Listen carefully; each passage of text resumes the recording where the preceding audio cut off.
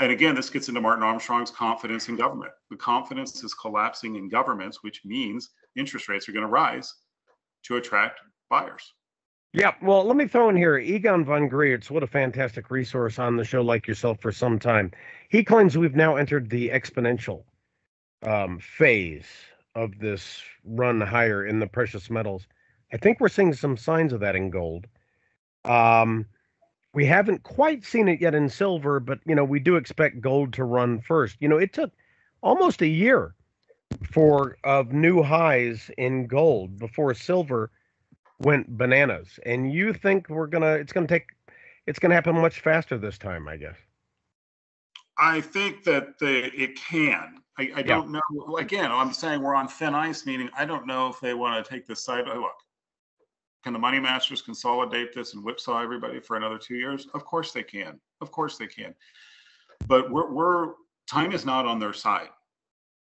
Okay, so from a cycles basis point, and that's what Armstrong and Nenner are getting into. At some point, this is gonna we're gonna get a bullish move. Everybody's gonna yawn at it. They're gonna treat it like, oh, we've seen this before. It's just another fake out, and they're just going to be in awe as it doesn't stop and it runs. Okay, that's the danger when you get up to the thirty dollar level on silver, and especially if you start seeing closes up there is um, this geopolitically and where the government is at and where the election cycle is at. We are not in 2011, which is the last time silver was making its run towards 50. This, this world is completely different. Um, and I agree No, that's with- interesting. Now let- let's investigate that because I typically like when it comes to gold and silver, they're just I don't know, you know, I don't want to say boring markets, but compared to the cryptos, they're pretty slow. You know what I mean? I mean, it, or Nvidia or something. I mean, they've been kind of dull and lackluster for quite some time. If what you're saying is true, and we're on the cusp of something really big, I mean, it's not going to matter much you know how much gold and silver you you hold i mean you seem to think like we're talking about a sea change event a i don't know uh, do i whisper the the nuclear Well, we're headed towards that. Um, Yeah. I mean, we're definitely headed towards that. I mean, we're going to see that before the decade's out. Um, but um, I, I would, for guys for guys that have extreme allocation into silver and gold, they can take what we're saying and talking about pullbacks, and they can get cute. And I mean that respectfully. They can get cute Yeah. and buy orders and limit orders down below and retraces and all that kind of stuff that traders are going to do. Yeah. But I think to your point, to, to new listeners or to listeners that have come on that are, you know, maybe they got uh, three grand in silver, but if they got it from their grandma and they've never really actually invested and they've got, you know, couple hundred grand in a 401k, it's time. Um, and my whole attitude has been on silver is you don't invest in silver to get rich. You invest in silver because that is fire insurance on on your life because it, it there is coming a day when it does go vertical and it doesn't look back and i do think that when we go vertical to 30 to 50 it's going to be fast and i think 50 to 100 will be Yeah. Will be days. It'll be days. Well hey hey th- listen all that is music to the ears of everyone listening right? But you know i think we can also take another perspective on it can't we? I mean bottom line silver's a bargain. Now admittedly $28 silver doesn't look quite as tasty as 22 or $23 silver. But i think and when we look back in the rearview mirror you know at $28 silver when it's pushing 128 you know on its way to maybe 228 and much higher i mean it's it's like arguing over bitcoin at 18,000 or 28 doesn't matter where you bought it you know when it's on Yeah. it's on its way to uh, clearly over the next several years to a quarter million i And I don't don't where. Yeah. I don't have the chart in front of me, but the gold silver ratio, I mean, I don't even know what it's standing at right now, but the last time I looked at it, it was ridiculous. I mean, it's just Yeah. ridiculous. oh yeah i mean Oh. one gold coin purchases you how many sil- silver gold ounces Yeah. I mean, come on. It's Yeah. it's a it's a fire sale. And you know, I just hope that's why we've been begging people, Aaron, for like four years. Whatever you do, they're they're giving it away. You can take one gold coin and buy like a Roman centurion's lifetime savings. You know what I mean? Or or, or a Roman senator from Well- 2000 years ago, Pontius Pilate. You know, everything he had in the bank with one gold coin. That's how much silver you can purchase. And I would argue that silver is going to outperform gold because, and I can't prove this, but I, it makes sense. I don't believe any numbers coming out about central bank gold holdings in countries. I mean, if, if you don't believe the unemployment numbers, do not believe the tick data about treasury holdings overseas as well as gold holdings. There's no way that I don't believe the Chinese, the Russia, I, I don't believe our number. I don't believe those numbers. Um, I believe that there's far more gold being held, and silver gets destroyed in the industrial process. hmm Okay, so there's way more gold than they're telling everybody, and silver, by its because of its use case, is constantly being destroyed. So to me, silver is going to outperform gold. You can look at a gold silver ratio and historically where that should be to figure out it's going to outperform. So um, yeah, I'm just I'm I'm a big fan of silver at this point. Um, and they are they're good relatively compared to where it's going. They're giving it away. I like the sound of that, giving it away. And you know, you are right. I mean, people forget that in the industrial process, we lose so much of our silver um, just in the production of what a keyboard, a computer keyboard. I'm talking a cell phone. I'm talking name any electronic device, maybe a solar panel. I've heard some people say as much as an ounce into a 100, 200, 300 watt solar panel. It's gone forever. It's included in solders and things like that. And it's Discard. Yeah. and it's huge. It's huge in solar electric, which they're trying to get everybody to. It's that's a huge component. Um, and I don't have the latest numbers. I know the cruise missiles 10 years ago. So I don't know, they might have fixed it, but the, t- the cruise missiles 10 years ago required 30 pounds of silver per cruise missile. Wow. Come on. Really? Yeah, you can you can check that out. Yeah. You can actually verify it because I'm not going to try it here Uh, online. yeah, but it I mean, was, uh, it was it, I it, I was in awe of how much silver was required.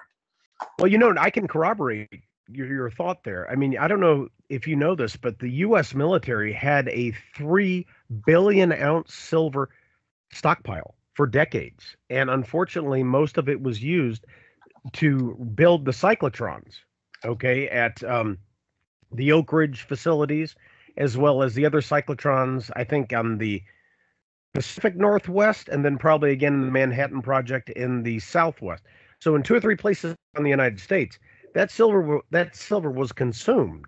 Okay, it's never been, from to my knowledge, ever been replenished.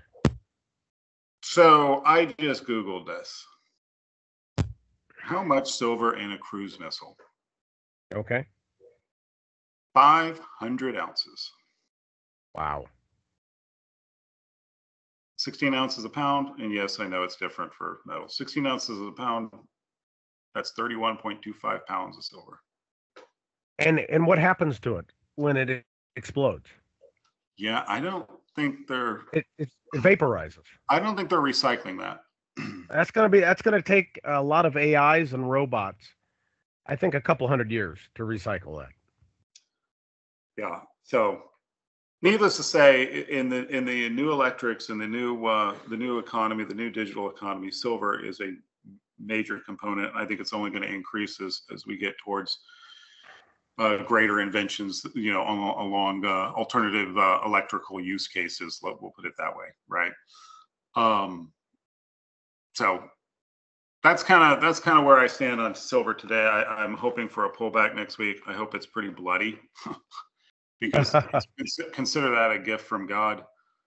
Um, but where we're going geopolitically, I'm, I'm I don't think we get. it. I'll be I'll be on your program, and I could be wrong a year from now, but I don't think we get out of this year alive. Wow, whoa, whoa, whoa. Hey, let's investigate that. But what as we do is um I don't know, if we can put rose colored glasses on. We don't none of us get out of life alive, but what from what you're saying, um something you you're seeing something on the horizon. Let's talk about that. Crude oil Does it agree with you? Let's see. Crude oil starting to agree with you. It's perking up too. Forward, the forward curve is abysmal. Crude oil is, if, uh, well, let me go pull up my, uh, uh, if you're, if, if the silver looks bad, and I mean bad in a, Good way. in a good way. Um, crude, let's, let me pull up crude. Crude Uh, is um less savory, but still perking up.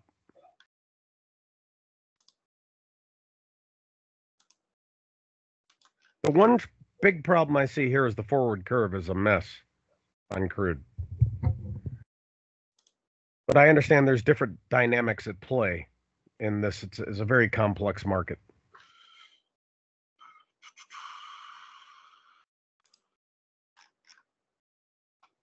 You see the chart up on the screen? Did I not? Oh, I didn't see that chart. Okay, let me pop that up there if we haven't. Oh, my bad. Here, let me pop this up for you. Three, two, one. I stopped sharing. How dare I?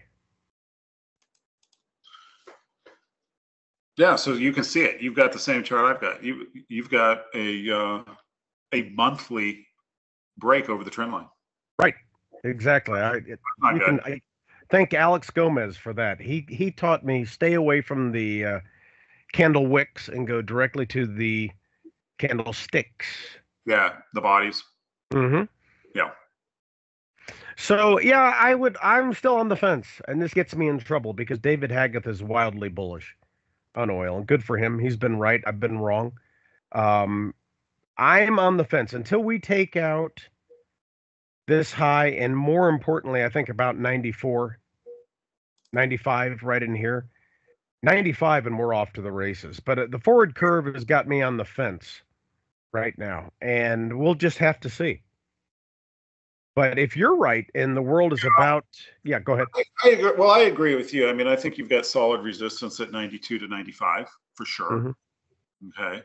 Um, you get above that, and I. I mean, we'll, we'll head to uh, 124 is my next. resistance. Exactly. No, I'm with you. I mean, as soon as we break out, there's no, there's nothing to stop us. The only thing though is if I'm looking at, uh, I mean, heck, weeklies are on buys. The only thing that hasn't gone full buys yet, MACDs, MACD monthlies are not on buys yet, but they're curling. They're, it won't take much to get them. So Yeah. you've got, so you've got, uh, you've got risk in the oil market, the equity market. That's a whole nother conversation. The equity market, um, Yeah, rolled over a little. Let's take a peek. We've been waiting how many months for this to finally happen? See. I'll pop that up there. S and P. Finally, a monthly bear candlestick. yeah, I'm not happy about the, uh, equity market. Not No, happy. I, I thought you were quite bearish.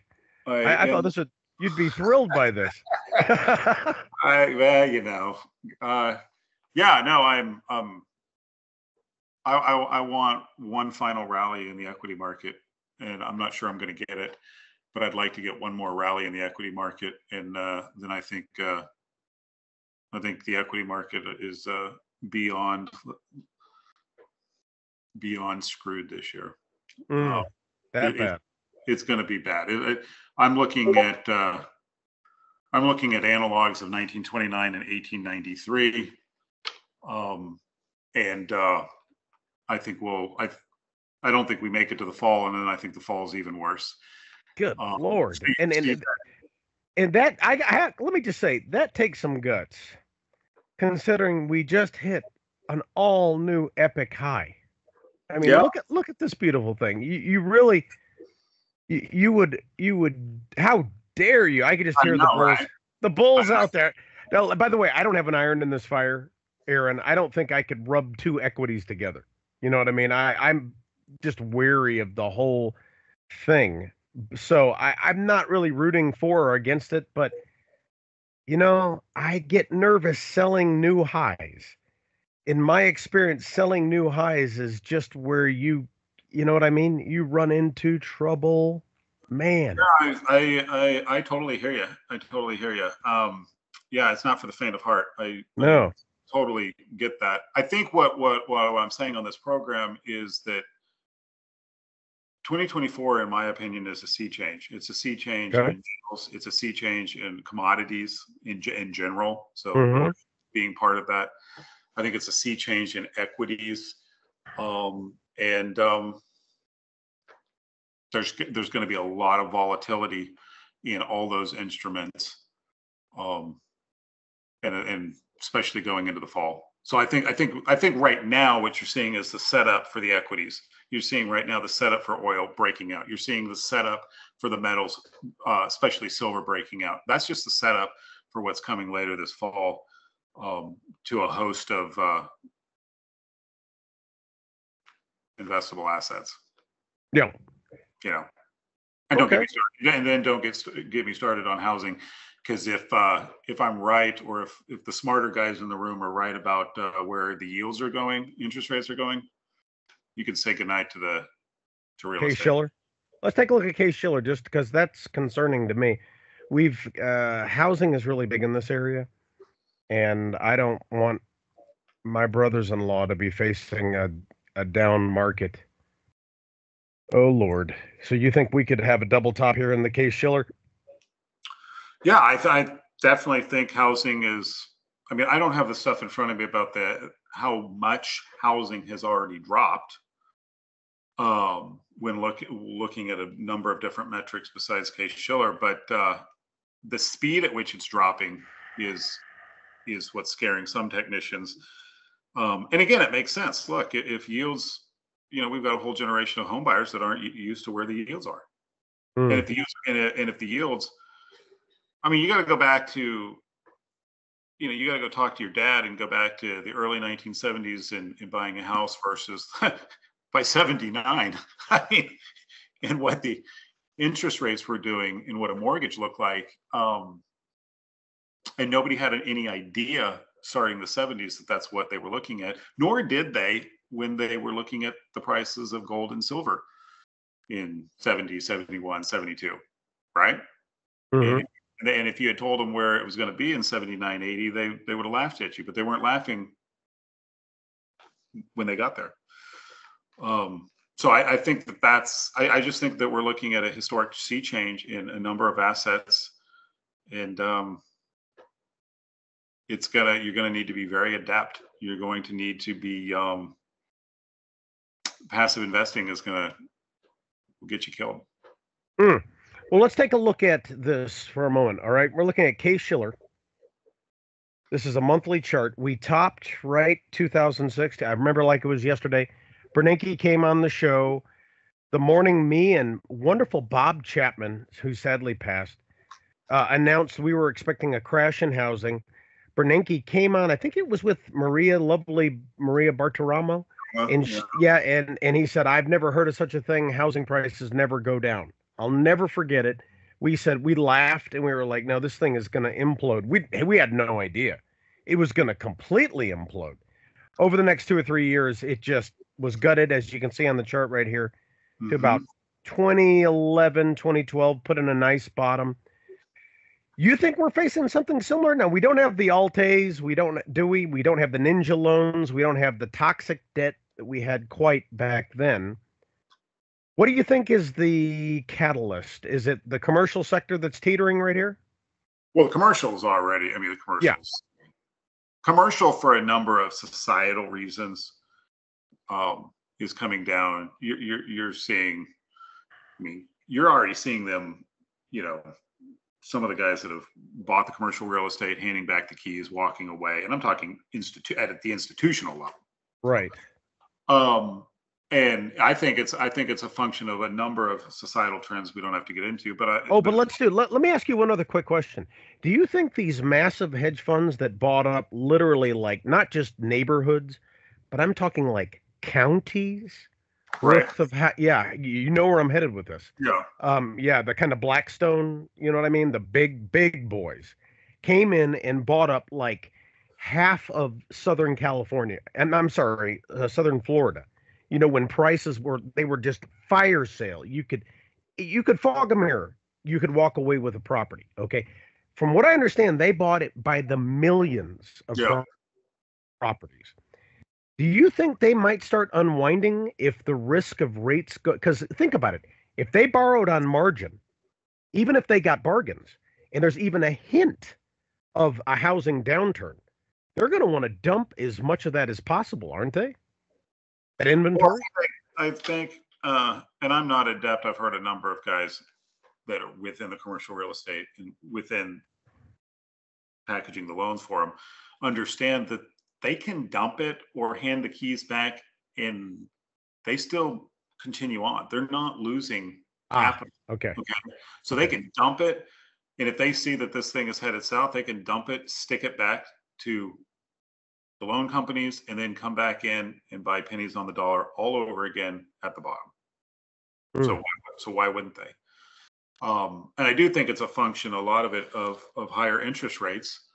Um, and you're not going to get that if you're, uh, I mean, I mean, you're not, you're not going to get that if you're just a, a- regular investor. Mm. Okay, I Mm. mean, it's, it's going to hurt, meaning if you, if, if, if rates are going eight, nine, 10, 11, 12%, who's moving? Who's buying? I mean, who's really going to buy? So, so it's almost like, you know, if, if you bought a house, you're stuck with it. You're not, you're not, you're not relocating. Because the cost, maybe you, maybe you bought that house at 2%, right? On a loan. Now what are you going to do? You're not getting a 2% loan on a mortgage. So you're stuck wherever you're at. And look at this trend. I mean, we're talking since, oh my gosh. I mean, you do realize it's conceivable. We just reversed. I just Is said, I just, a 40 year. Whoa, whoa, whoa, whoa. Look at, I haven't even taken a, a peek at this. yeah. This is stunning. Hang on, hang on. I mean, even if we give it a little leeway here. It's gone. Oh, It's dude. gone. No, you do realize that could be the Achilles heel that undoes the entire global economy. What you just, I, I understand that. It's oh bad. my God. It's really bad. And and let's add to that. Let's just have fun. I, I don't want to call it fun because I'm weeping, you know, you know, as I say that. But you could toss a little lighter fluid on this, couldn't you? And just say, hey, we're we're forgetting about the two quadrillion or 1.5 quadrillion in interest rate sensitive derivatives out there. Who knows who's holding what swaps where? So here's a, I'm not gonna, I'm not gonna give you the answer. Okay. I know that you interviewed Charles Nenner. Oh yeah, he's great. Ask Charles Nenner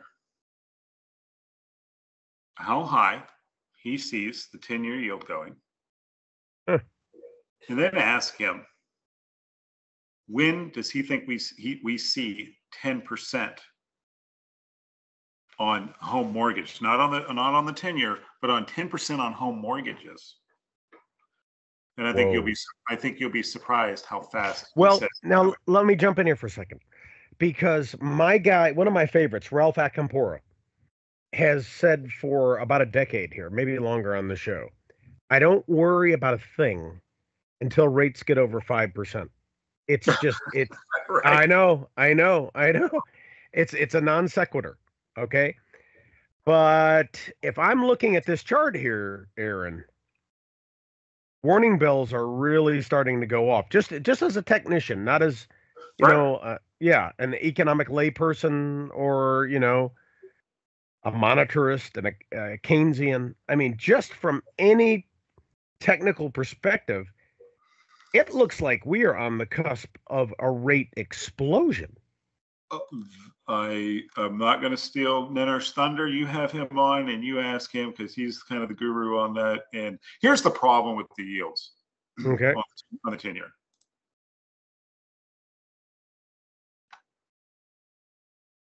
You probably don't know who Chris Carolan is, but some Oh, sure, I've heard him. Yeah, yeah. Yeah. So Chris Carolan to the day called the low in the 10 year on rates. Mm. And in real time, because I subscribed to him in real time, he called it. I told one of my bond, my one of my bond trader friends, and he said, "No way." I said, "Dude, I'm not arguing with Chris Carolan." What shocked everybody, and the press has talked about it. What shocked everybody is nobody had ever seen the 10 year do an about face and go vertical that fast. That, right, that's what got a number of banks in trouble. Is it didn't have a slow turn. We bottomed at like 50 bips and, you know, year later, we're, we're cranking. Um, you get about 5%. It's just the sky is the limit. You could go, uh, let's go look at some technicals. Um, Okay. we get about 5% and we're not slowing down till six half, six half, seven. Hmm Yeah, well, you we can look at the resistance right here. I mean, it's pretty simple here. Better Yeah. yet, I mean, we can always just pop on a Fibonacci, right? That's Oh, well, that, gets even worse. Yeah, because see, it goes six, eight, and ten percent. Yeah, You're you haven't done anything until Yeah. ten percent. Yeah. it's almost. In fact, you could argue ten percent is baked into the cake as a retest of ten percent. I, And think, what would that do? I mean, just bear with me for a minute. If banks had to compete, if lenders, if mortgage borrowers, if small businesses had to compete with 10% money, I mean, what's the price of money?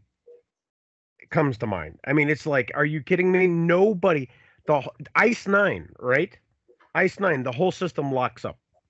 There is literally the the Fed is pouring money into the banks and they're laughing. I'm not lending to anyone.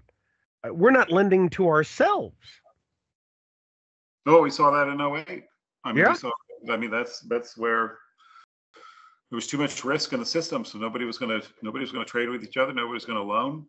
I mean, so I, I think the, I think rates, and, and this gets into Martin Armstrong, I think rates are going,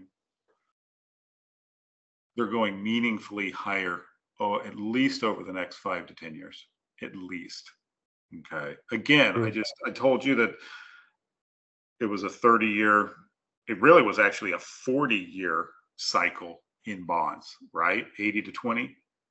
Yeah. Okay. So we've got at least another 10 to 15 years of upside on on rates. And we haven't even discussed, and we don't have to, we haven't even discussed what is taking place with our deficits and our debt and the money printing. And now we're now we're blowing a trillion dollars every 90 days. Every 90 days now. A trillion every 90 days. So there's definitely uh the writing is definitely on the wall. That's why I'm saying, and I'm not trying to be engaged in hyper